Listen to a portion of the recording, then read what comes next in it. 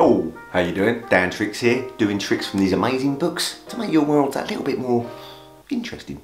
Today, I'm going to be doing a card effect as requested by one of my fantastic subscribers, Run Fools. So thank you, Mr. Run Fools. Introduced me to an effect from Tarbell Volume 7. It's by Herb Zarrow and it's called Trapeze.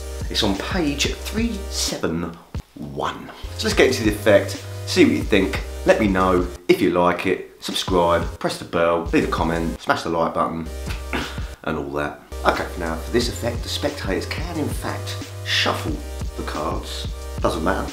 We can give them a few little shuffles ourselves, just to make sure the cards are well and truly mixed. Like that.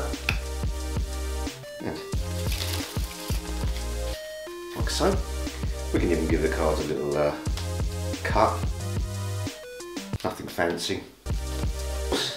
A card is selected. In this case, we will use ah, the seven of diamonds.